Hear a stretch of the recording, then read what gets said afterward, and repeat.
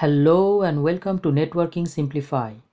This time in the second part of the tutorial, how two computers connected to a layer 2 switch communicate, I am using Cisco Packet Tracer to show the detailed communication in step by step.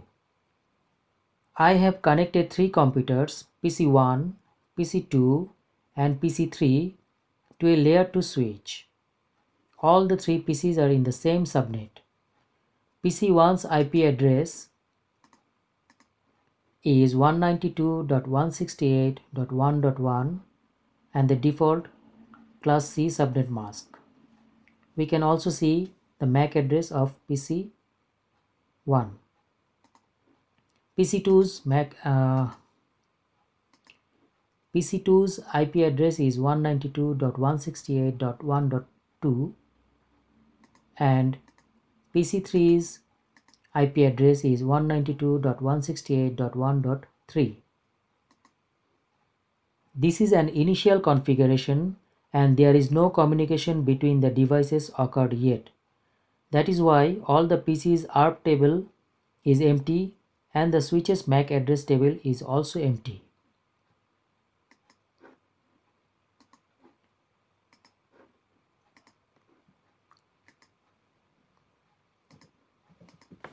If we see from the command prompt of PC1 ARP A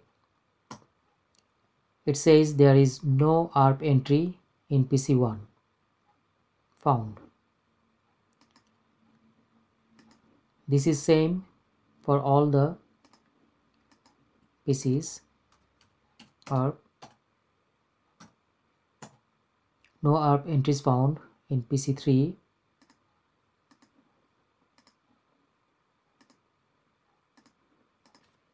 ARP. No ARP entries found in PC2. At the switch, show MAC address table, it shows that there is no entry in the MAC address table of switch. Now, I would like to show how two computers communicate in a layer 2 switch environment. PC1 knows the IP address of PC2 and wants to communicate with PC2.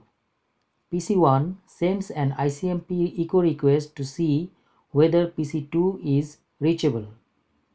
To send a frame from PC1 to PC2, PC1 needs to learn the MAC address of PC2. In PC1's ARP table, there is no MAC address associated with PC2's IP address. To simulate the communication and capture the data at every step, I am using Packet Tracer simulation window. I am putting a simple protocol data unit uh, PDU between PC1 and PC2. PC2 this PDU is an ICMP ping message. We can see that the source is PC1, destination is PC2, type is ICMP message and from the simulation window by clicking the capture forward button we can see how the frame goes one, one step at a time.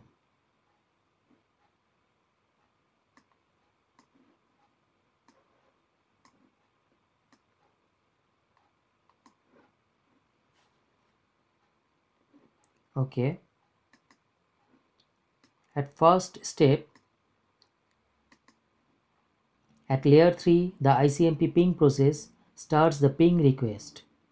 The ICMP ping process creates an ICMP echo request message and send it to, to the lower process.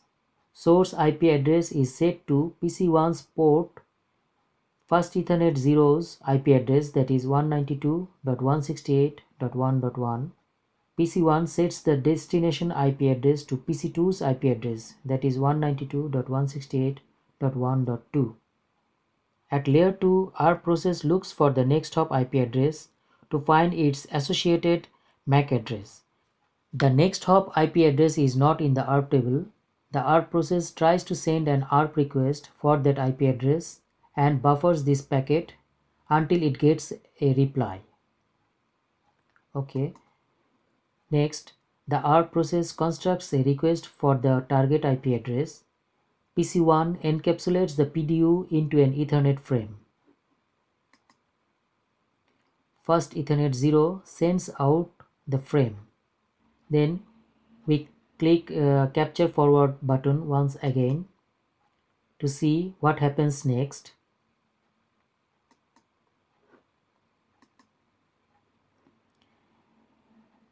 At the next step, the receiving device is the switch. The receiving device is switch. First Ethernet 0 1 interface receives the frame.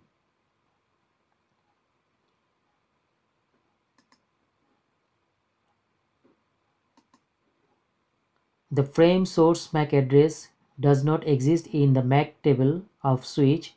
Switch adds a new MAC address entry into its table.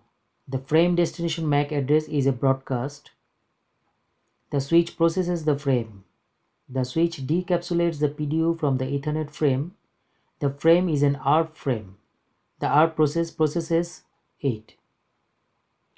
This is a broadcast frame. The switch sends out the frame to all ports except the receiving port. We click capture forward button once again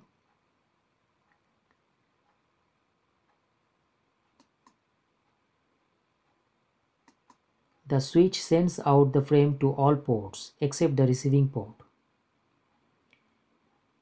At this step, the receiving device is PC3. PC3's first Ethernet 0 interface receives the frame. The frame's destination MAC address is a broadcast address. PC3 decapsulates the PDU from the Ethernet frame. The frame is an ARP frame. The ARP process processes it. The ARP frame is a request. The ARP request's target IP address does not match the receiving port's IP address. The ARP process drops the frame.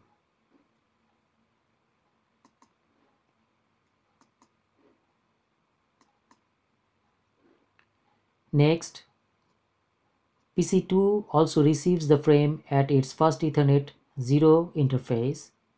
The frame's destination MAC address is broadcast. PC2 decapsulates the PDU from the Ethernet, head, Ethernet frame. The, the frame is an ARP frame. The ARP process processes it. The ARP frame is a request. The ARP request's target IP address matches the receiving port's IP address that is 192.168.1.2.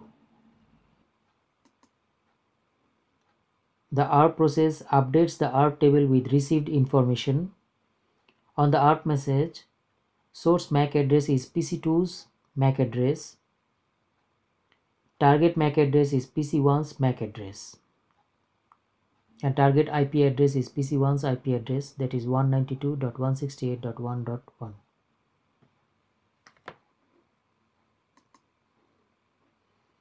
At the next step, the receiving device is the switch.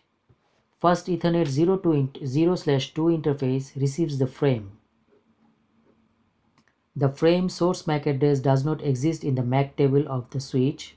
The switch adds a new MAC entry to its table. This is a unicast frame. Switch looks in its MAC table for the destination MAC address. The destination MAC address is associated with switch's first Ethernet 01 interface. This is an access port. The switch sends the frame out that port.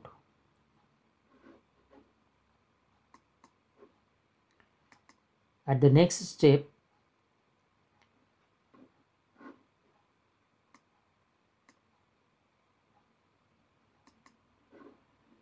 PC1's first Ethernet 0 interface receives the frame. The frame's destination MAC address matches the receiving port's MAC address. PC1 decapsulates the PDU from the Ethernet frame. The frame is an ARP frame. The ARP process processes it. The ARP frame is a reply. The ARP process updates the ARP table with received information. The ARP process takes out and sends the buffered packets waiting for this ARP reply. PC1 encapsulates the PDU into an Ethernet frame and sends out from first Ethernet 0 interface. At the next step, at this step, switches first Ethernet 01 interface receives the frame. The frame source MAC address was found in the MAC table of the switch. This is a unicast frame the switch look into its MAC table for the destination MAC address. In MAC table, destination MAC address is associated with first Ethernet 02 port which is an access port.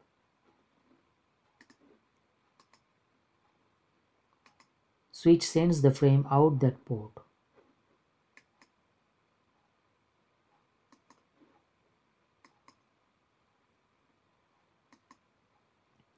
At this step, PC2's first Ethernet 0 interface receives the frame.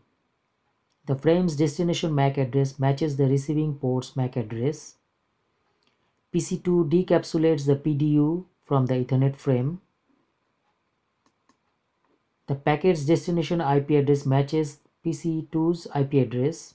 PC2 de-encapsulates the packet. The packet is an ICMP packet. The ICMP process processes it.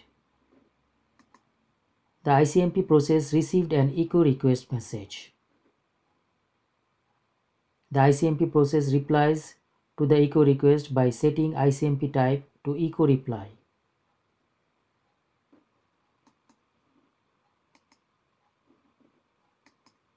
The destination IP address is in the same subnet. PC2 sets the next hop to destination that is PC1's IP address. The next hop IP address is a unicast. The ARP process looks it up in the address table. The next hop IP address is in the ARP table. The ARP process sets the frame's destination MAC address to the one found in the table. PC2 encapsulates the PDU into an Ethernet frame. PC2's First Ethernet 0 port sends out the frame. At the next step,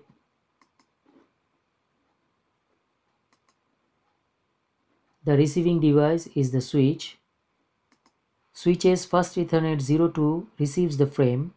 The frame source MAC address was found in the MAC table of the switch. This is an unicast frame. Switch looks in its MAC table for the destination MAC address. Destination MAC address is associated with switch's first Ethernet 01 interface. First Ethernet 01 interface sends out the frame.